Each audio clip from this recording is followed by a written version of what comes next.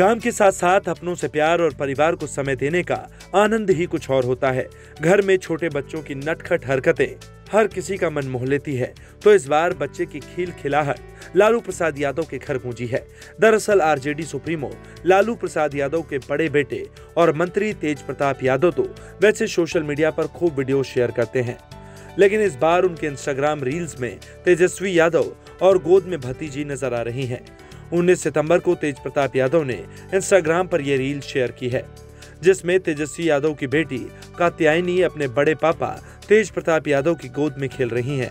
तो वहीं तेजस्वी यादव भी बिटिया को लाड करते नज़र आ रहे हैं। वीडियो को आमिर खान की फ़िल्म तारे ज़मीन पर के गाने जैसे आँखों की डिबिया में निदिया और निदिया में मीठा सा सपना गाने के साथ शेयर किया गया है। इस वीडियो पर यूज़र्स भर भर के कमेंट कर रहे हैं।